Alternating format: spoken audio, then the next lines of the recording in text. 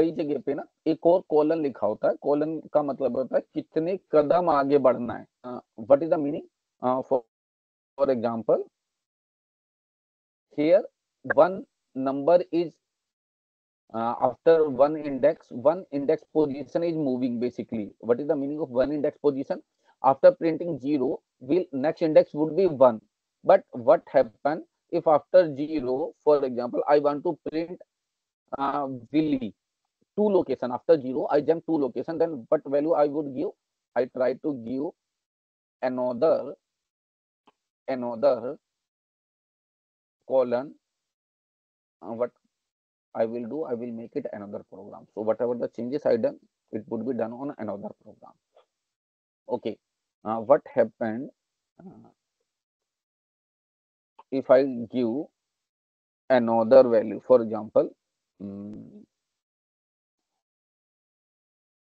colon 2, okay, or I add some more number so that uh, we get the more clear idea. Uh, because I'm jumping value, for example, A, comma, another number B another number C. Okay.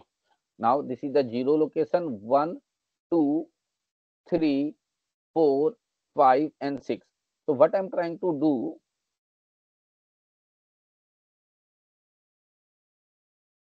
what I'm doing zero first 0 would be printed then this means skip two position so after python book 450 would be skipped and willy would be printed after willy 320 get skipped and a would be printed what i'm trying to say just uh, come on that particular note bad just moving the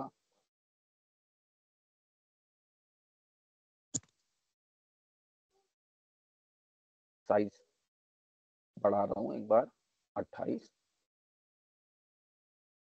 okay now just observe the output python book is stored at index 0 450 index 1 willy index 2 320 index 3 a index 4 b index 5 c index 6 what I have given in a print statement, in a print statement, I write A1, start with a 0, then go to 6. 6 mean 0 to 6 mean 0 to 5 because last is minus 1 so it becomes 0 to 5 but is 0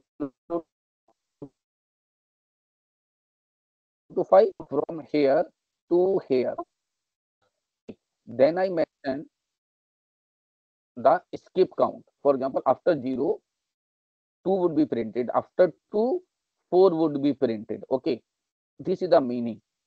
I hope you get the point. So Python book would be printed because it is at zero location आपको जाना zero से पाँच है, लेकिन उसके बीच में jump करना है by two after zero willy would be printed after two willy a would be printed okay so I would run this program for you observe the output of the last statement और I will remove the other statement